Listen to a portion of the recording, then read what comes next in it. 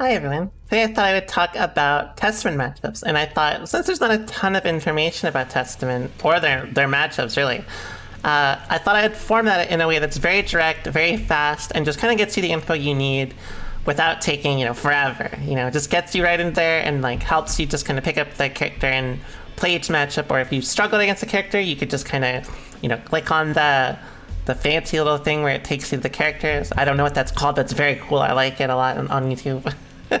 uh, but basically, it just gets you into the either matchup that you want and just like learn from there, right? That's really the goal. So, Sol. 2K is extremely strong and it can avoid 6S as well as 4S or, you know, outright beat either of them. Same with 6B, which is, you know, very important.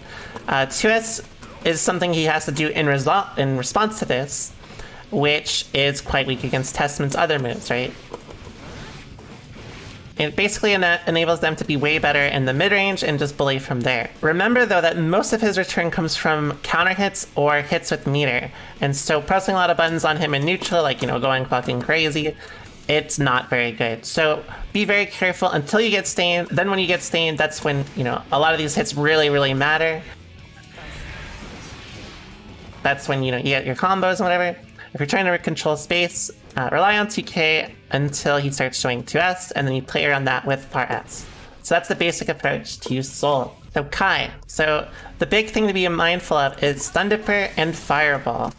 Both of these options, not just Charge Fireball, but regular Fireball, both of these options can kill, like essentially bully you for, you know, doing crow into them or overusing 236S.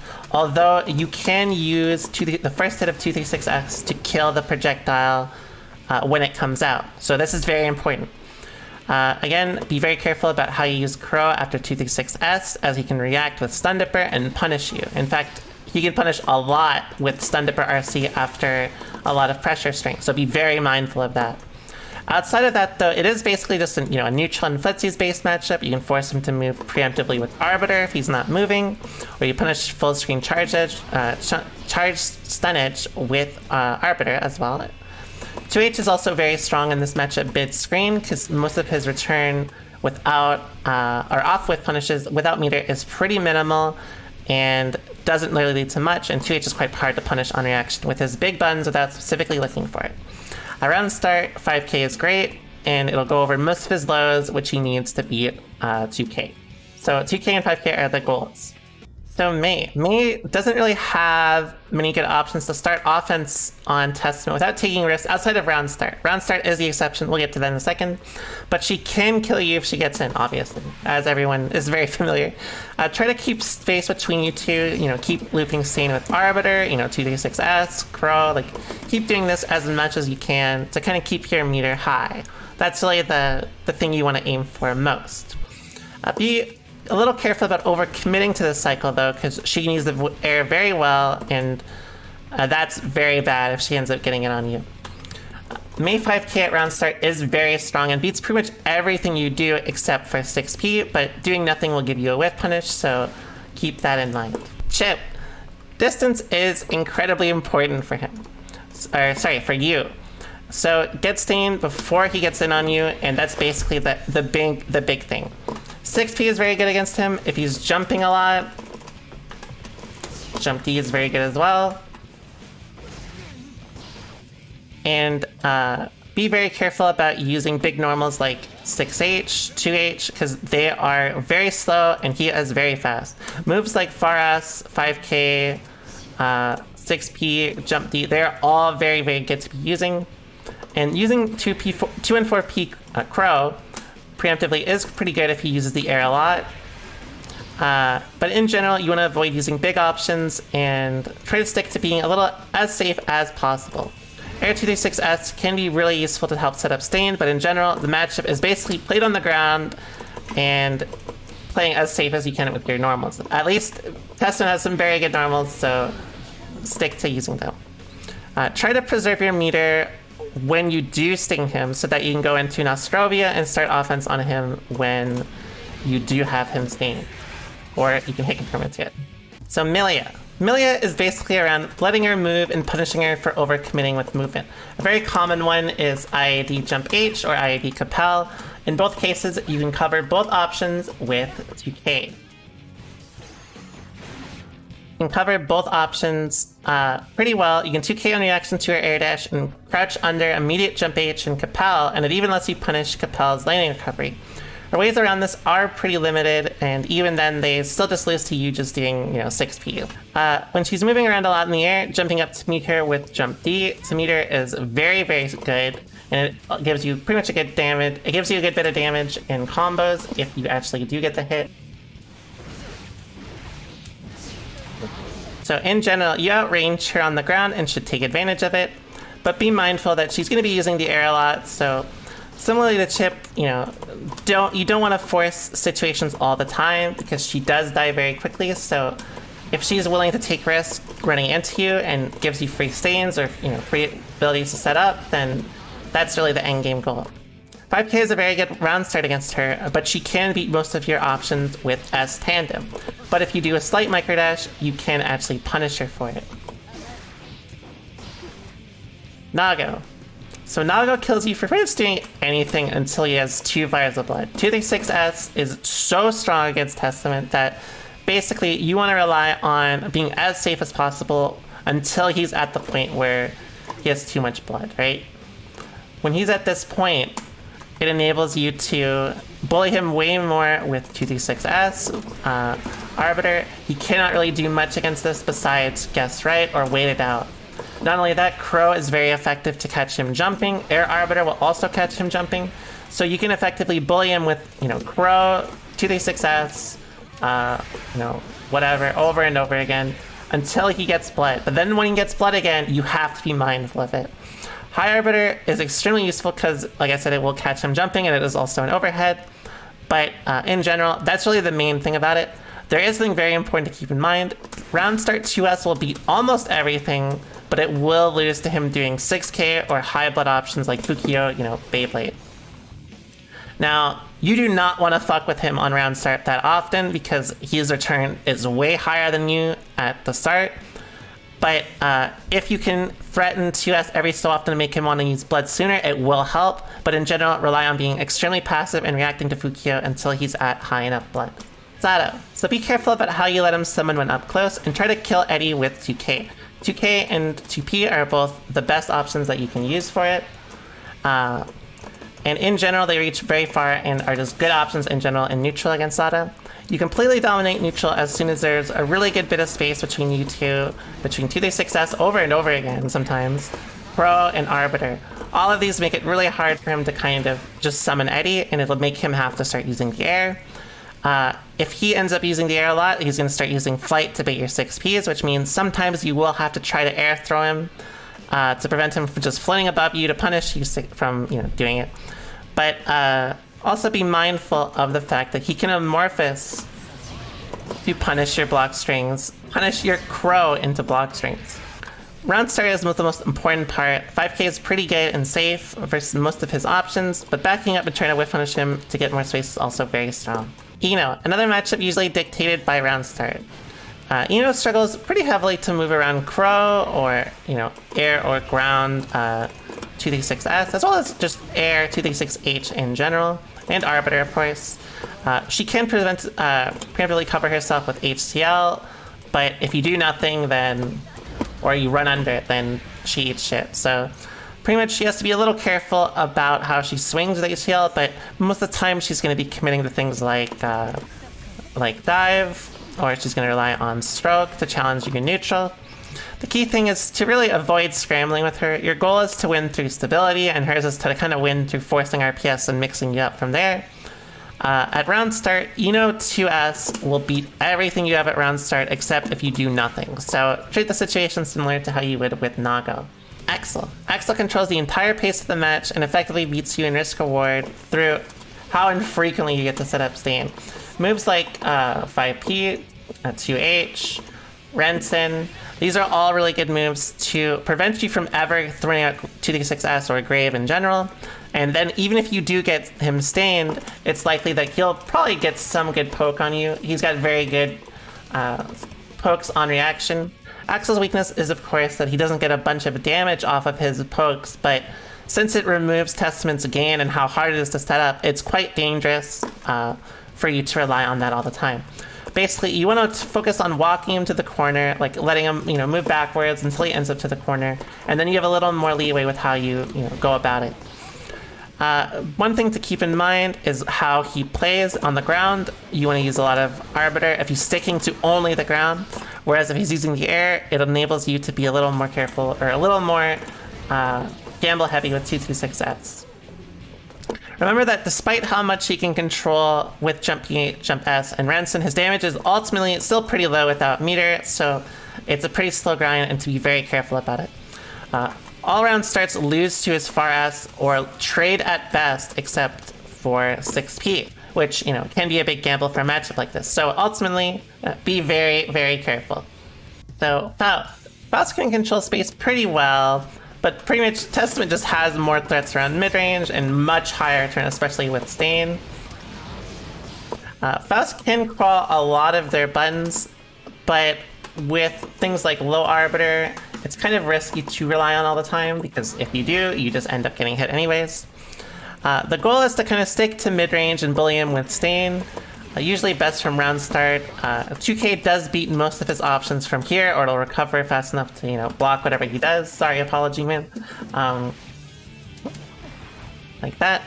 Uh, Jump D can be very useful in this matchup, but it is much more of a risk compared to the other mobile characters because of Jump H. And so usually sticking to the ground is most ideal. Uh, far S, 2S, and 2K are usually the best options for this matchup. So Potemkin. Potemkin's a really odd matchup. You basically control the pace of the game, but you don't really control neutral. Uh, Potemkin can interrupt a lot of stuff reliably with Slide Head, but having a succubus on the screen is pretty important for him against him for that reason. Once you have one near him, you can kind of just teleport, punish from there, you cannot throw the success or crows out for free though, because he can always just flick and reliably stop it and get his turn. Armor is a problem until he's stained, in which then it's a little worse to commit to because of the pop, which sometimes it won't work as I just showed. but basically it is also a risk he has to consider. Most of the match will be pretty much spent playing mid-range with him and punishing him for being a little too preemptive with slide head. Uh, remember that due to his lack of movement, having the succubus away from the corner, or to teleport away from the corner, is extremely, extremely powerful and sometimes gives you outs when they commit too deep. Round start, 2K will beat most of his round starts or avoid them. Be careful about overcommitting at round start due to his Kara Papa start. Leo. So Leo, you bully him in mid-range, but he basically kills you when he gets up close, and he's very good at sitting, uh, stopping you from sitting up on him. If he uses Fireball a lot at max range, you can use the first hit of 2d success to nullify the projectile, or uh, even if you do not, it will sometimes still give you the succubus anyways, uh, which is still very important. If he uses Charge Fireball, you can also just react and use Arbiter. In general, Arbiter and Pressure is very strong, especially at a distance, because it helps avoid his ability to RPS with uh, DP. Try to save as much meter as you can for when he gets in. He will eventually get in, like in some way, whether it's 2d6s, uh, IAD, or 2d6h with meter, or whatever. He will some eventually get in. Your best round starts against him are 2k and 5-8. Ram. So Ram doesn't control space as well as Axl, but her return is extremely high and her buttons reach very, very far. In fact, they reach far enough to contest where pretty much most others cannot. Because of that, you can't really be as greedy with your pressure or even how you commit to things in neutral with uh, Crow or 2d6s because 5H will pretty much blast you if you press it if you press it too close to her. So since they have to set up Stain and Ram pretty much gets it immediately, you have to be very careful about everything. Arbiter is very strong to control space right outside of 5H range, but be very careful about if she just moves forward and presses 5H. Uh, avoid using 2H. 6H is sometimes good for calling out backdashes. Uh, but in general, avoid throwing any projectiles when near the corner. Focus on playing kind of safe mid-screen. And in general, you don't really want to use the air as much. Try to focus on the ground. And these are really the best approaches to challenging her. Instant blocking racket is essential for defending against her. 2S at round start will also trade or beat almost everything, uh, but it will it will trade with 2D in her favor. Uh, 5H will beat 2D at round start and gives you a big combo, but it does open you up to her other openers that lead to her bigger turn as well. Mixed it between the two and doing nothing and with punishing.